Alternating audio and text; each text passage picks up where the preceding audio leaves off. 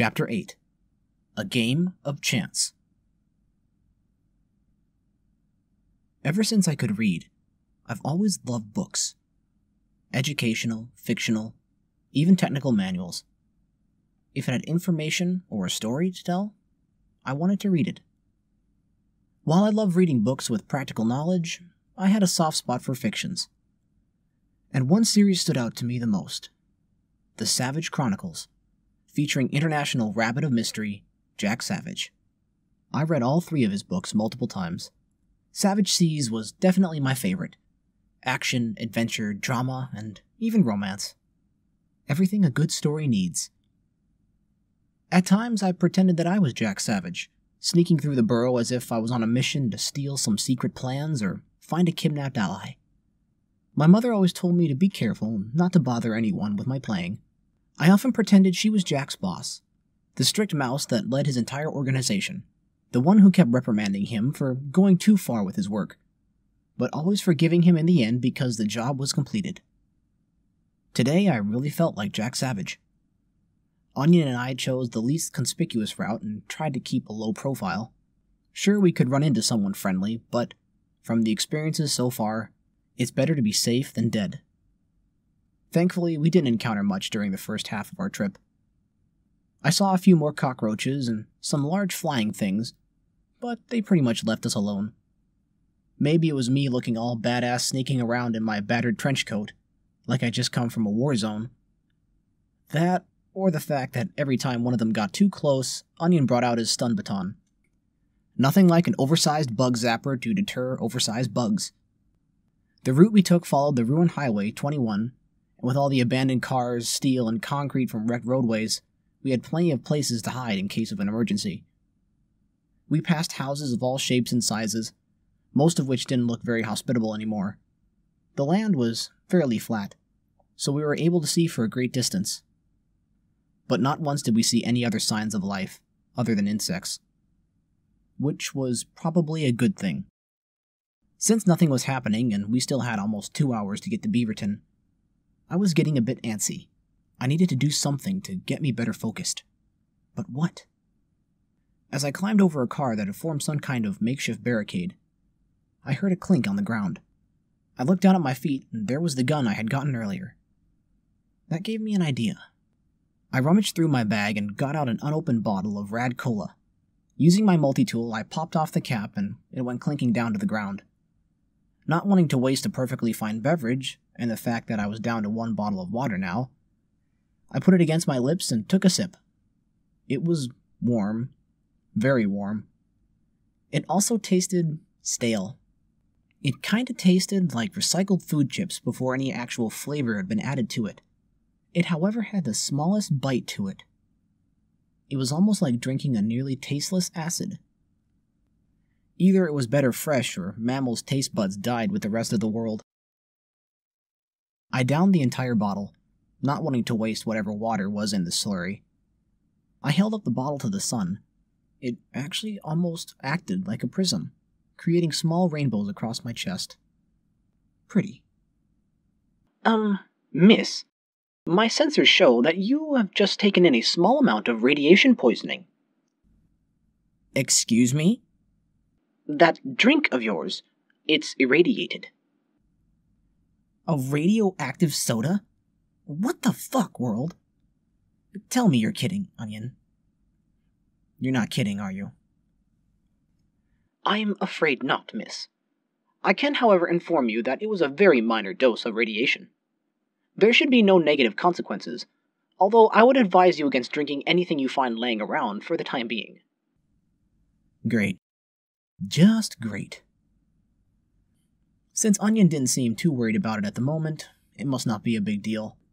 Although next time I eat or drink anything, I think I'll use my radiation detector on it first, just to be sure. Then I remembered something and started to laugh. I think it caught Onion off guard. Oh dear. I guess that radiation was worse than I thought. You seem to have bouts of uncontrollable laughter. I'm fine, Onion. I just remembered something.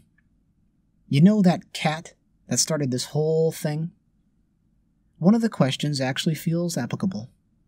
It said that if I was suddenly exposed to a large dose of radiation and am now growing an extra limb, what should I do?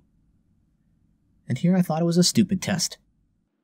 All tests have a meaning, miss, even if you can't see it. Yeah, well, if I start to grow an extra limb, please do not choose the first answer. And what would that be? A bullet to the head. Rather grim, if I do say so, miss. Rather grim indeed. So far, this entire adventure has been a lot like that test confusing, misleading, and bound to put me somewhere I don't belong. However, unlike the test, I have greater control over my outcomes. Now, to get back to the reason I drank the radioactive soda. I took the bottle and placed it on top of a nearby car. I stood with the sun behind me and took aim with the gun. Unlike last time I used a gun, I had ample time to see what I was doing. The targeting of it was rather simple. On the back half of the gun were two small posts, and another large one near the end of the barrel. I knew enough of a gun from my reading that I needed to line up the single post between the two rear ones. I did this and took aim at the bottle. Click. Shouldn't something have happened? I pulled the trigger again. Click. What is. What am I doing wrong? Last time I pulled the trigger, a bullet went burrowing into the ghoul in front of me. I looked over the gun. Why was it not working? I wish I knew more about these things. I put down the gun and activated my Pip-Boar's item database. Luckily, there was something in here that gave me a brief rundown on how guns work. I probably shouldn't have access to this. Hell, I didn't even know the Burrow had guns until I escaped. I bet I had my mother to thank for this. I read through it for a bit. Ah, I bet this is the issue. I followed the instructions and ejected the magazine. Just as I had thought. It wasn't even loaded. Good thing I wasn't in a fight. I'd be screwed. I removed the box of bullets from my bag and loaded eight into the magazine. That wasn't a whole lot, but then again, I really hope I don't have to use it. Once the magazine was in and the gun was cocked, I took aim at the bottle again. Unlike the last gun, when I pulled the trigger, it was almost silent. I heard a small noise like air quickly rushing out of a tube. It also had very little recoil. I like this thing a lot better. Unfortunately, I completely missed the bottle. I shot again, another miss. It was only 10 feet in front of me. I pulled the trigger once more, and this time I made contact, but I must have barely nicked it because it didn't shatter until it hit the ground. I really hope I don't need to use this thing anytime soon. Unless it's the size of a house, then maybe I could hit it. I reloaded the magazine and put it back in its home between my belt and body. I'll try again when I find some more bottles. Um, miss, I think we have company. What? Did they see us? Onion, keep out of sight. I tried to hide as well, but I think it was too late. Hey, Yeah! The voice came from behind me. I chanced to peek up and over the car I was behind. There were two wagons. Unlike the one before, these were actually crafted out of scraps into something out of the frontier times. Both of the wagons had similar tent like coverings, preventing me from seeing their goods. They must have been connected because when one stopped, the other did as well. In front was the largest mammal I had ever seen, apart from the rhino ghoul. It was a bison. He was huge. And it's not just that he was taller than me, his muscles bulged beneath his shirt. I think he could bend steel just by breathing on it. From one side of the wagon walked two wolves. They contrasted each other, one with white fur, the other with black. They both wore simple vests and slacks. Hey, rabbit! I know you're there. No point in hiding. Fuck. Maybe these guys are nice? Oh, me? Sorry. I get startled is all. I got attacked by some ghouls yesterday and I'm just trying to be cautious. I tried to compose myself, but I don't think it worked. I put my hand on my gun as I whispered towards Onion. I'm going to meet them. Stay hidden and prepare for anything. I stood up, fully and slowly walking towards them, attempting not to seem threatening. It must have been working because the now visible guns the wolves had were still in their holsters. The bison stared at me as I walked, but he didn't say anything. He didn't have to. His muscles were obviously doing the talking.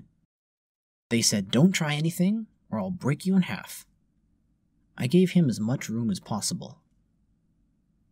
Okay, stop right there.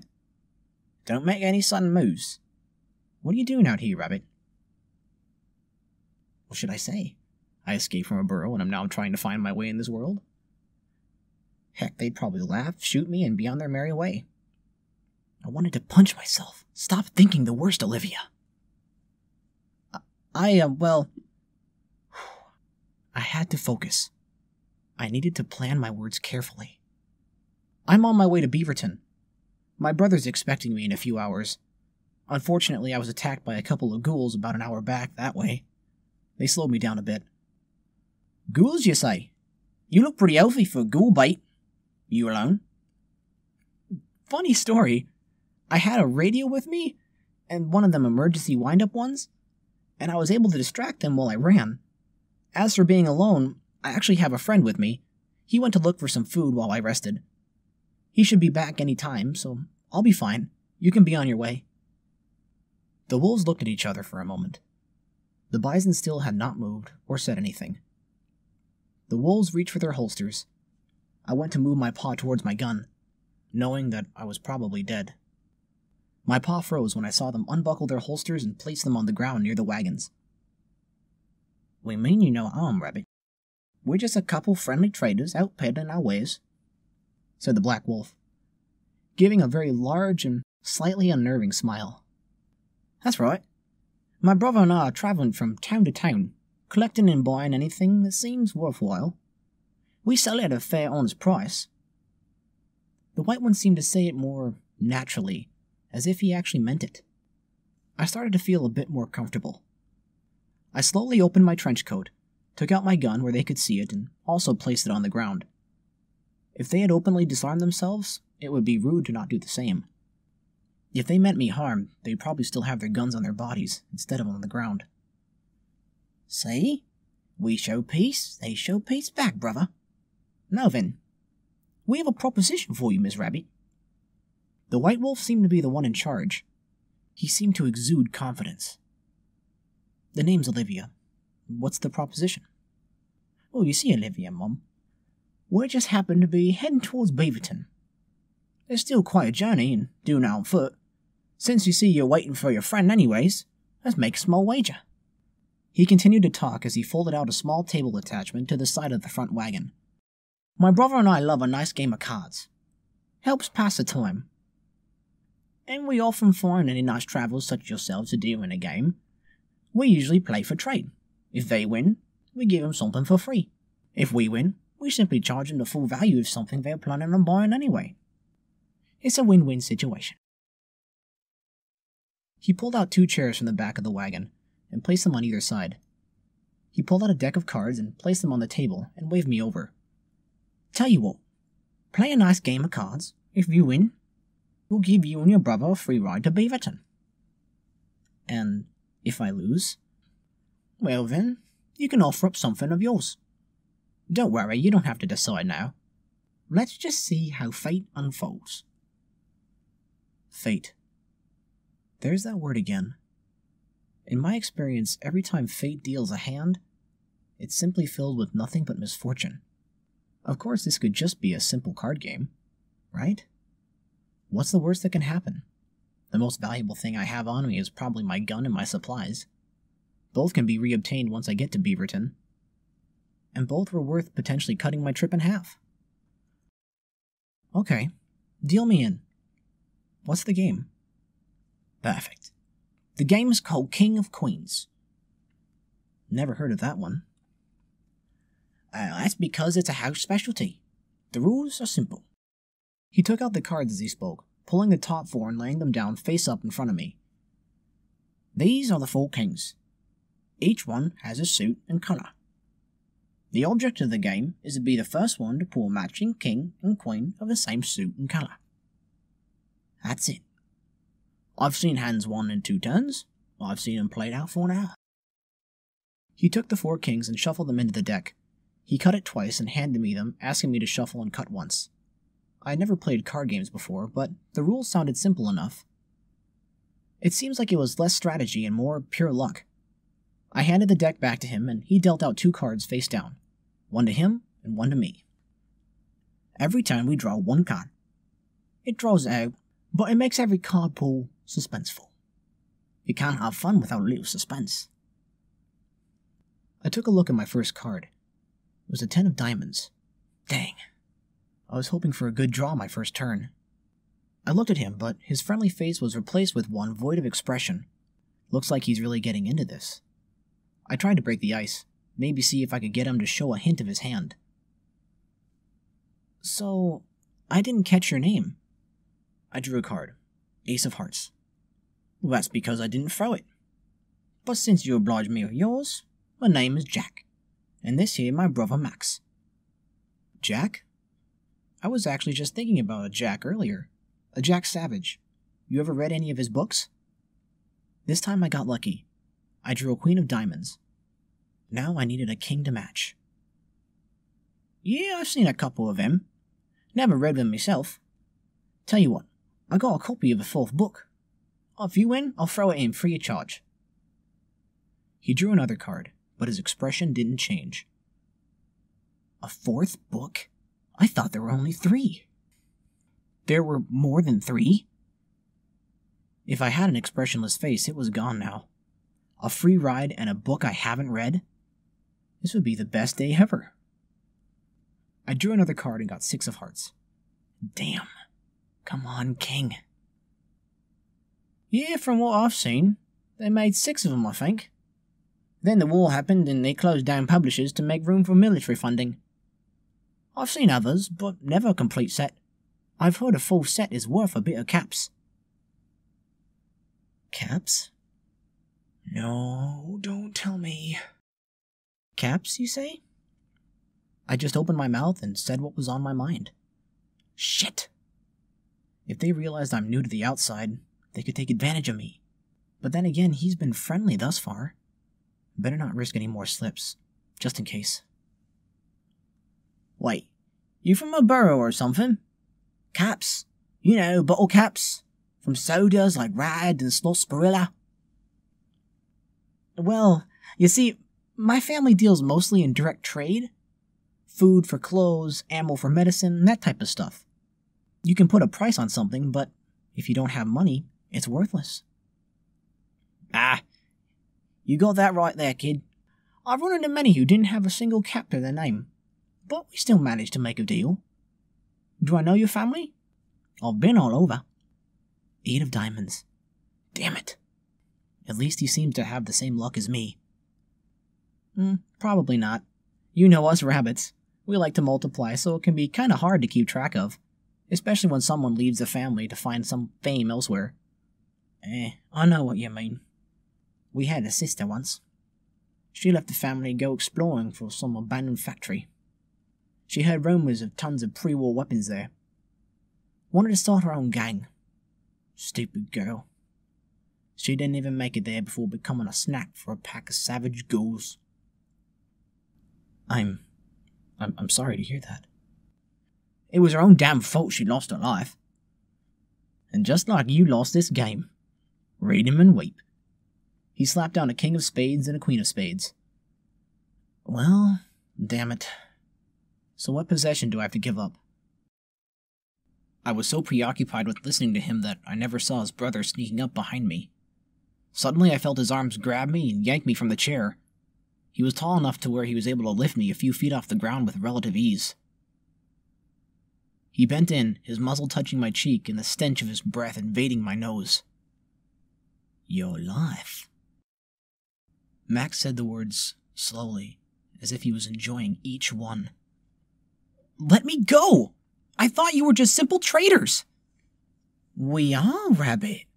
We trade in all sorts of things food, supplies, slaves. And you, my dear Olivia, you are our newest piece of inventory. You better let me go this instant, once my friend gets back. Oh, I don't think I'll buy your story. You're alone. And in fact, I do believe you're not from around these parts. How did life in the burrow treat you? Not good since you're up here, I'm guessing. How did he know? Did some burrows actually open on their own? I knew we weren't the only one, but no one knew how many there were or even where they were. I couldn't give up. I had to think of something.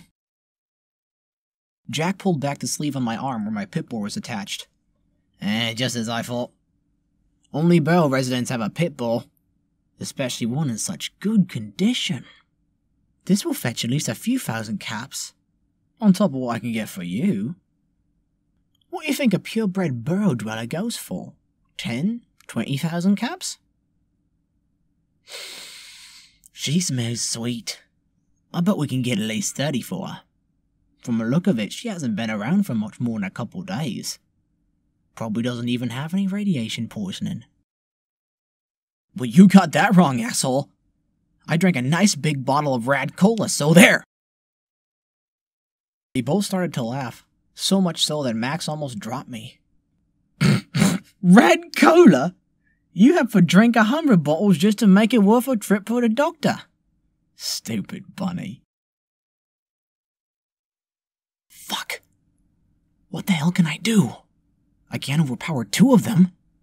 They were about to take my pit bull, so signaling Onion would be out of the question. And even if they didn't take it, it's not like they would let me take the time to call him. My gun was at least 40 feet from me, and they were within reach of theirs. So even if I could make a run for it, they'd just gun me down in a heartbeat. On top of that, I could still see the bison standing there, motionless. He must be a bodyguard or something. Onion, I wish you were here. I suddenly was dropped to the ground. I smelled burning fur as I turned around to see Max convulsing on the ground. Right behind him was Onion, stun baton extended. I just wanted to kiss him, but now was not the time. I turned towards Jack and saw him running towards his gun. I had an idea. When I was younger, I was always told that rabbits were great jumpers. And because of this, I pretended I was a gymnast, jumping over everything, doing flips off the wall, and anything I could do to make my mother proud. The wagon seemed sturdy enough, so I quickly jumped to my feet and put all my strength into my legs. I jumped in the air, rebounded off the wagon right on top of the wolf. I impacted him so hard he went flying a few feet away from his gun. I grabbed the gun just as I saw him extend his claws. He was pissed. Oh, why, you fucking cunt! You pay for that! He was charging full speed towards me. I hesitated for a second, but only a second. When I heard Onion shout at me to watch out, my instincts kicked in. I pulled the trigger. Jack let out a loud howl as he fell to the ground, blood spewing from his leg.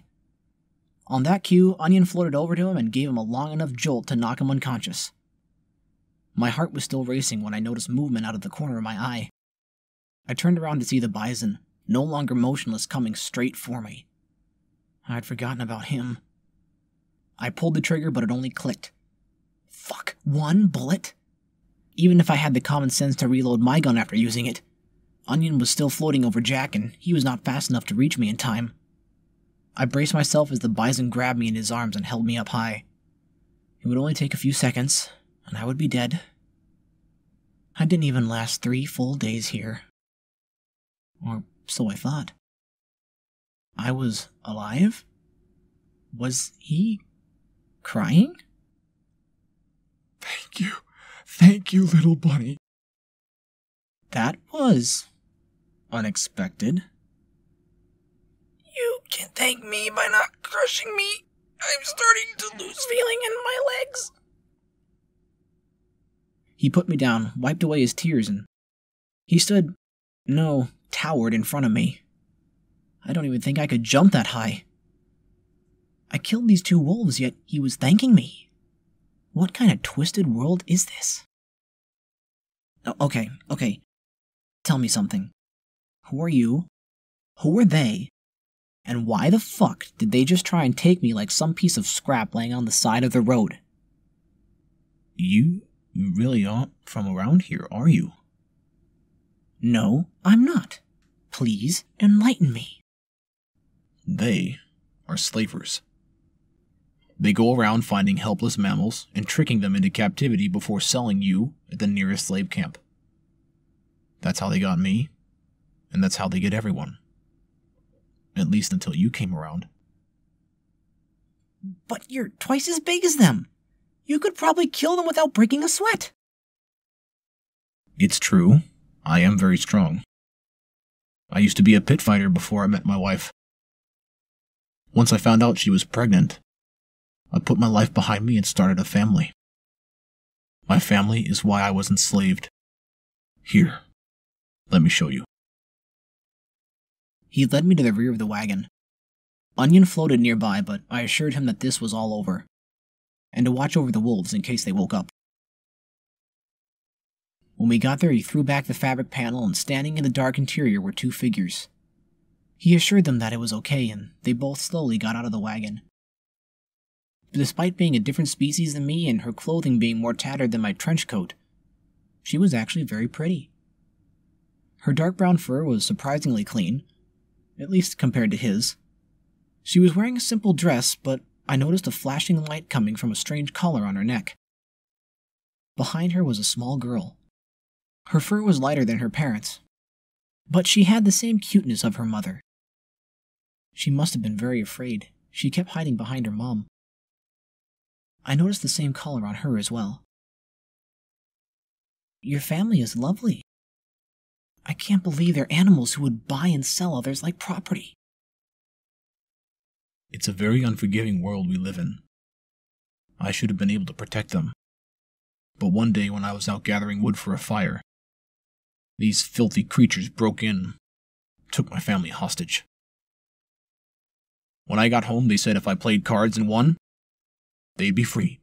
If I lost, I would take their place as slaves. Let me guess. You lost. I get that. They went back on their word. But like I said before, why didn't you simply overpower them? I doubt a small gun would have stopped you from protecting your family. He asked his wife to step forward and pointed at the collar around her neck. You see this? This is a special collar used by slavers. It contains a small explosive. If they push a button, or if someone tries to take off, it'll explode, severing their head and killing them instantly. Some are even rigged so that if their owners die, the collar will go off. They already had them on, so even if I tried anything, I'd be killing my own family. Bomb collars? This is fucked up. I'm guessing since they're all still alive, the wolves didn't get a chance to activate them. Thankfully, they didn't place one on me yet. I would have been really screwed. I walked over to Jack, who was still unconscious. I went through his pockets and found a small brick shaped device with a single button on it. Must be the detonator. So, how do you get these things off? You can't. Only the slave camps have the ability to remove them. Prevents the slavers from double crossing them and stealing the slaves for their own. Of course. Why wouldn't there be a simple solution? Time to make use of my brain. I told them that I was not going to leave until I figured out a way to free them from these collars. The bison looked a bit hesitant. You see that robot over there? Say hi, Onion. Uh, um, hi. Well, I made him by myself, from scraps that I found lying around. I even programmed him myself. I did that when I was a kid, as well after my mother. Let's just say, I had no one to help me whatsoever. I think I can disarm a small bomb.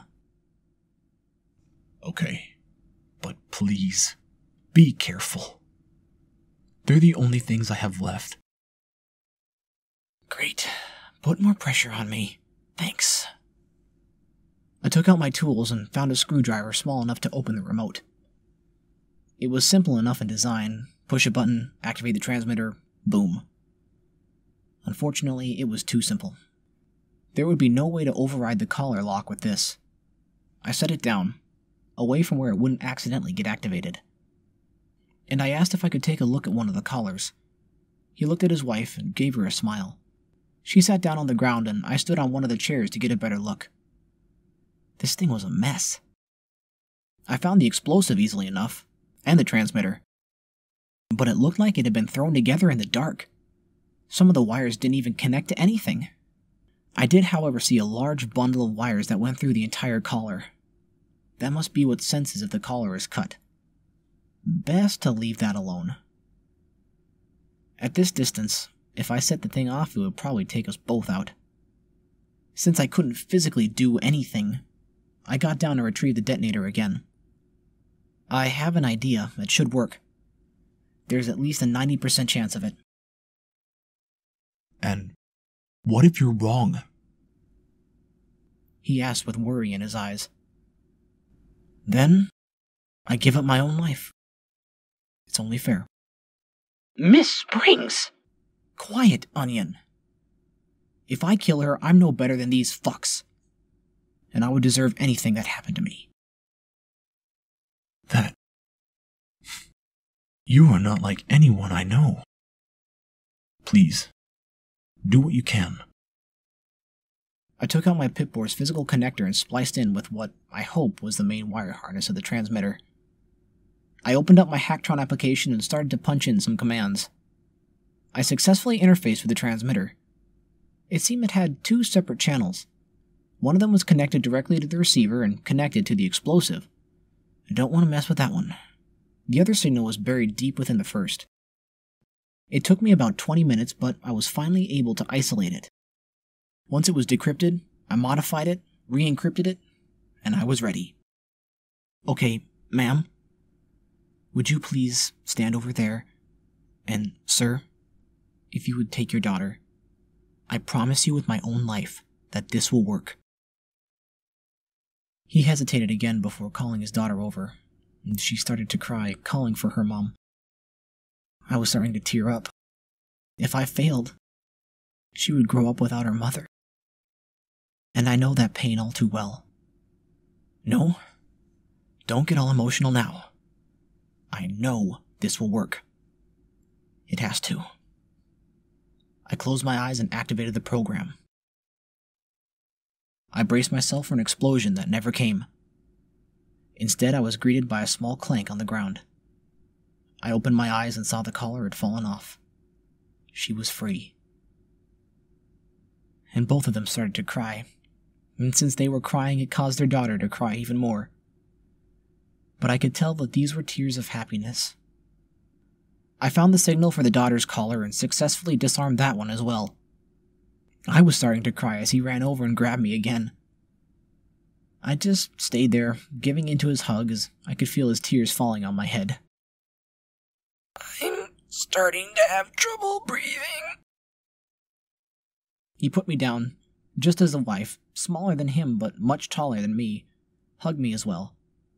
Only this time she bent down and it felt more like a loving embrace, rather than a wrestling move. The daughter gave me a hug, even though I could tell she had no idea what was going on. She had to have been around four, maybe five years old.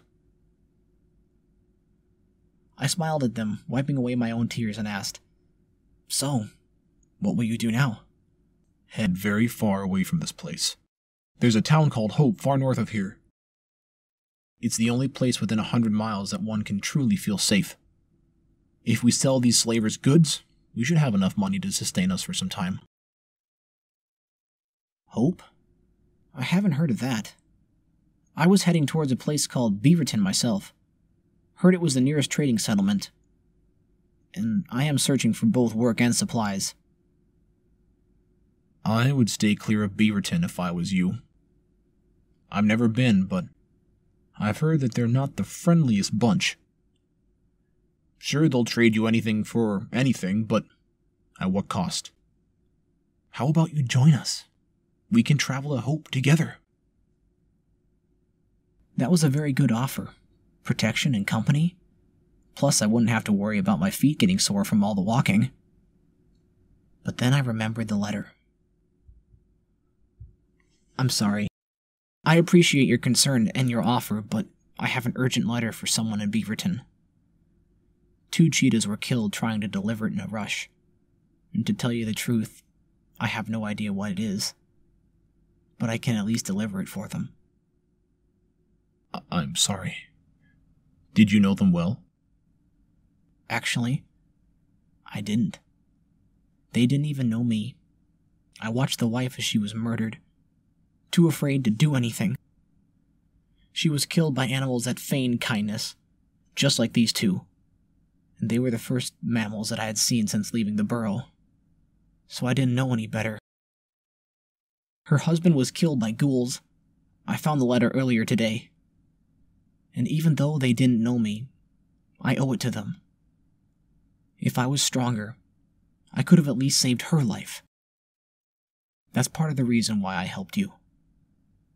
I already saw one death. I don't want to add any more to it. You really are something, Rabbit. If there were more like you, this world might actually stand a chance. If you ever find your way to hope, look us up. I promise you a place to stay and food to eat. That's the least I can do to thank you. I'll take you up on that offer. If Beaverton is the place you say it is, once I'm done, I'll make my way to Hope. The bison asked me to wait a moment and went to the first wagon. He rummaged around in there for a few moments and came out with a small bag. Here, take this. Food, medicine. There's plenty here for our trip. Thank you, Mr. You can call me Bo. That reminds me. What should we do with these two? Leave them. They'll get what's coming to them. Now, if you'll excuse me, we should get some rest before our travels. Goodbye, Olivia. Goodbye. I smiled and waved as he climbed into the back of the wagon with his family. As I was heading to get my gun, I stepped on one of the collars. Explosives came in handy before, and so I picked them up and put them in my bag. As long as the transmitter was disabled, they should be fine. I signaled to Onion that it was time to go. After we were a good distance away, Onion was the first to break the silence. You really shouldn't gamble with your life like that. What if you had failed? It was a risk I had to take. So far, our encounters with bad mammals have greatly outnumbered the good. Someone has to be the hero. I just wish that someone wasn't you. The rest of our trip was met with little resistance. We ran across two of those large flying insects again, but this time they tried to attack me, spitting some sort of sticky acid at us. I didn't hesitate to pull out my gun and shoot them. My aim was getting better. It only took me three bullets to take them both down. I was getting better at this. And somehow, that scared me.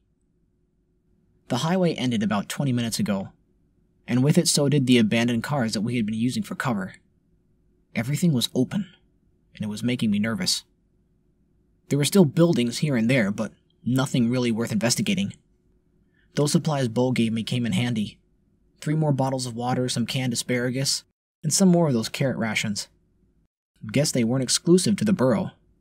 There were some basic medical supplies, gauze, antibiotics, and some more quickie fix. If Beaverton doesn't pan out, and we go to Hope, I'll have to find a way to repay him for the supplies. Speaking of Beaverton, according to my Pip-Boy, it should be right over the top of this ridge. From the topography on the physical map, it seems that the flatlands ended at the cliff and divided into Savannah Central, where we were, and Sahara Square. I pulled up a geology book on my Pip-Boy and saw that we were actually walking in what was a river. Since there was no signs of water anywhere, I'm assuming it was long dried up. The river flowed over the cliff face and into the harbor that the water treatment plant was built on.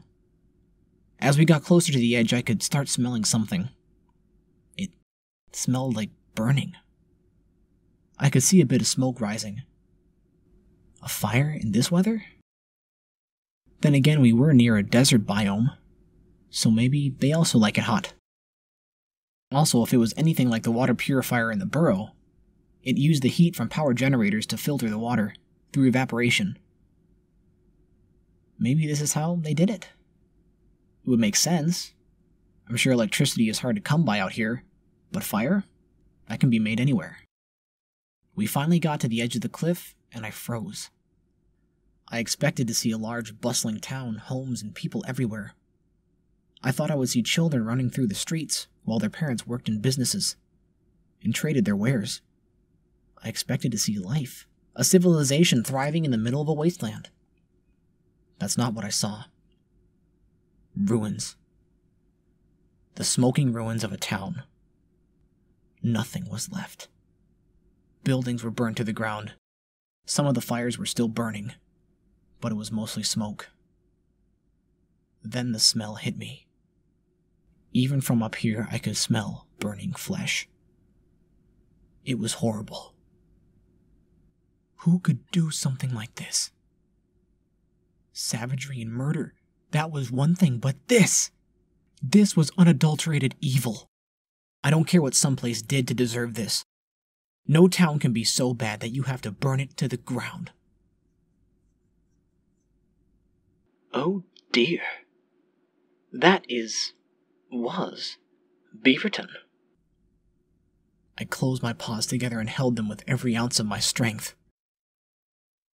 I will find out who did this, and they will pay. You don't even know who they were. What if the entire town was like those two wolves, or even worse? What if this was a slave camp? I don't care, Onion. If these were lowlifes like them, they still deserve better. A trial, jail time, or something. There has to be some sort of justice out here.